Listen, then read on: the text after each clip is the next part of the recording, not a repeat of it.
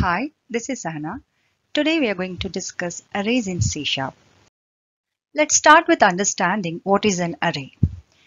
Array is a data type that is used to store similar type variables and it's a reference type.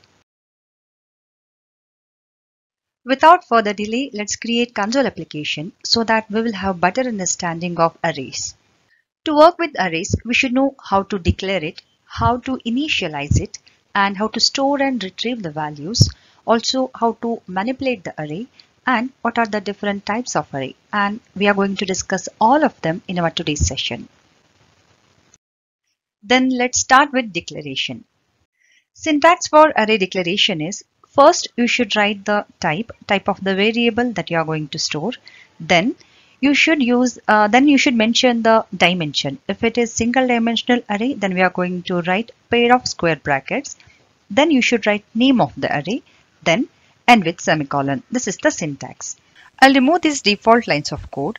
Let's say we are declaring integer array then int is the type. Then we should write the pair of square brackets. Then i'll name it as int array end with semicolon this is our int array. If you have to declare a string array, then you should write string, then pair of square brackets. I'll name it as string array, then and with semicolon. This is our string array. Here one thing that you should remember is integer array can store only integer values and string array can store only string values. Here if you look at the code, we have just declared the array.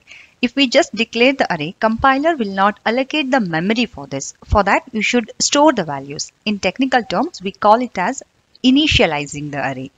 Thus, we are going to initialize the array.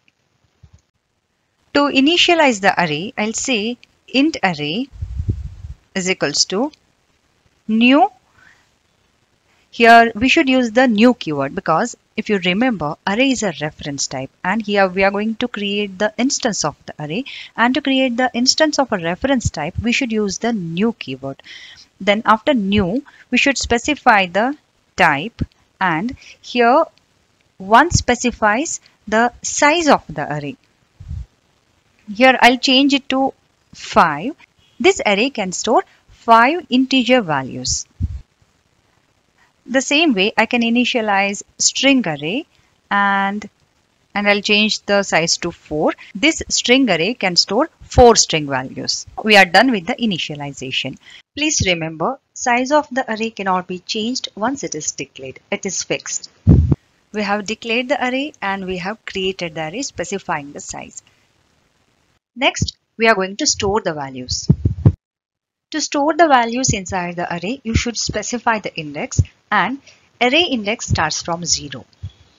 To store the value inside the int array, I'll say int array then the index int array of 0. Uh, please remember this is integer array and we can store only integer values inside this array. I'll say 1. Now see we have stored the values. Remember index starts from 0 not from 1. So last index always ends with the one lesser number. If the size of the array is 5, then the last index is going to be 4. The first index is going to be 0. This is array indexing. So now we know how to declare, how to create the array and how to store the values inside the array. There is a good news. To save the time and to make the code more readable and understandable, C Sharp has given a way to combine all these three steps in a single statement. Let's see how to do that. Again, we will take integer array, int array 2, then here new, then int. I'll not specify the size this time. Directly, I'll say 1, 2, 3, 4, 5. Okay. See, this is one way of declaring, creating and storing the values inside the array. If you notice here, we did not specify the size. The compiler will decide the size based on how many values you are storing. So in this case, the size is going to be 1, 2, 3, 4 and 5. Remember, at the 0th index, the value 1 will be stored and at the 4th index, 5 will be stored. There is one more way to write this. The same way, I'll take integer array. Then this time, I'll say int array 3. This time I'm not even using the new keyword. I'm directly storing the values. Compiler will decide everything. Now we know how to create the array and how to store the values. We should know how to retrieve the values, right? We will see that. Okay, let's say uh, let's say you want to access the last element of the first array. That is, you want to access 5. One way to do that is I'll simply because this is the console application, I'll say console dot write line int array of 4 I'll just specify the index of the element. It's done. What if you want to print all the array elements? The best way would be you can go for for each loop. See, we have written this write line statement inside this for each loop, so each element will get printed. Here is the output. This 5 is from the first print statement. These values are coming from this for each loop. We have different types of array. The simplest one is single dimensional array. Then the next one is multi-dimensional array and one more type is jagged array. Single dimensional array has got only one dimension. Now what we have discussed is a single dimensional array. The next one is multi-dimensional array and it has got more than one dimensional. We will see how to work with this array. And another type is jagged array. This is array of arrays. That means the array elements are array in itself. We will see how this looks. Look at this statement. This is the single dimensional array. Now we will see how to declare multi-dimensional array. In case of multi-dimensional array, dimensions are specified inside the brackets and comma is used to separate the dimensions. Now I'll show you how to create two-dimensional array. Write the type, then pair of square brackets. If you write single comma, then it is then it is considered as single dimensional array. Then write the array name. Then the same way use the new keyword and create the array. This two-dimensional array named two-dimensional array has got two rows and three columns. Just for your understanding, this is the array just now we have created. You can assume this array something like this which has got two rows and three columns. Now I'll show you how to assign the values to this array. This is how we assign the values to this array. This is the same array that we have assigned the values just now. If you want to see the mapping, this is how it looks. Now let's see how to access the elements from this two-dimensional array. Let's try to access this 2. Its position is the first row and in that first row this is the second column. I'll use the same write line statement.